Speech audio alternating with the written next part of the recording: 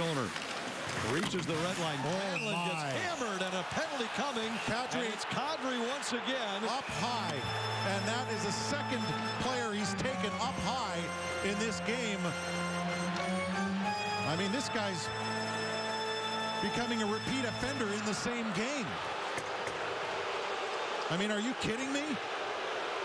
He smokes Backstrom, and then watch this high hit right here. He uses his head and his body and takes Granlund right against the boards. That is unbelievable. Now, all that better be more than two, I'll tell you that much. all of the rules and the suspensions and fines and everything, every time you hear about the NHL taking a look at this, they talk about the principal point of contact. Was the principal point of contact here anything other than Granlund's head? I can't see it. I mean, he used his his uh, chest and, and head and shoulder.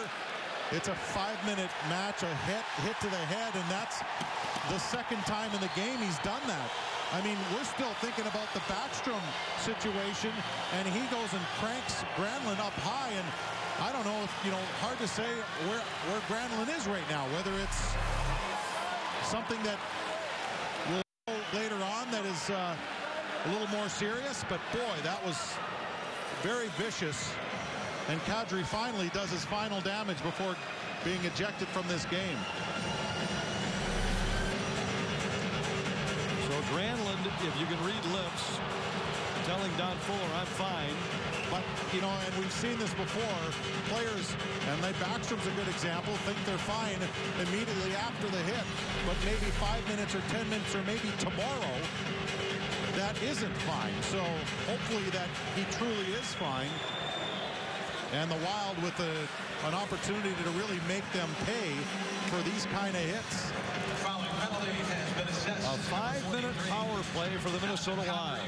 They have not been great on the power play so far tonight. They are zero for four. And this is score at will. So if the Wild are able to piece together uh, some scoring here, they could really make Toronto pay. Illegal hit to the head at 841. Will serve the five minutes for Toronto. What an opportunity for Minnesota. McClement races after it and clears